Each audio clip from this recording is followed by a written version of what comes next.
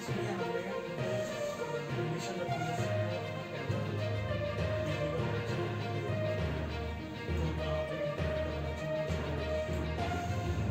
की डेट में बहु फोर्ट में गंडोला हमारे।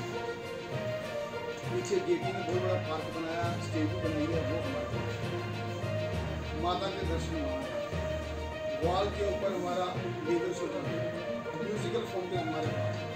हमारे पास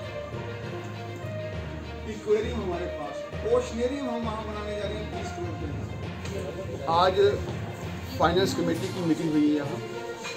और इसमें ये तय किया गया कि जितने भी हमारे कॉन्ट्रैक्ट्स हैं, एक करोड़ के ऊपर वाले, उसका अप्रूवल यहाँ से होगा। दूसरा, जो हमारी एडवर्टीजमेंट पॉलिसी है, उसमें हम क्या क्या करेंगे?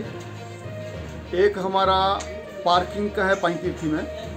उसमें हम क्या निर्णय लेने वाले हैं? और जो हमारी रोड साइड स्लॉट्स हैं, उसमें हम कैसे आगे बढ़ने वाले हैं?